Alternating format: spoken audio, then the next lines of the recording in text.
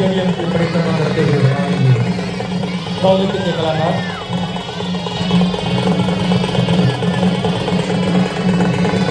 और चारों तरफ़ ये बिहार का नज़ारा हम देख रहे हैं एक अद्भुत विलक्षण असाधारण प्रस्तुति। इसलिए सौर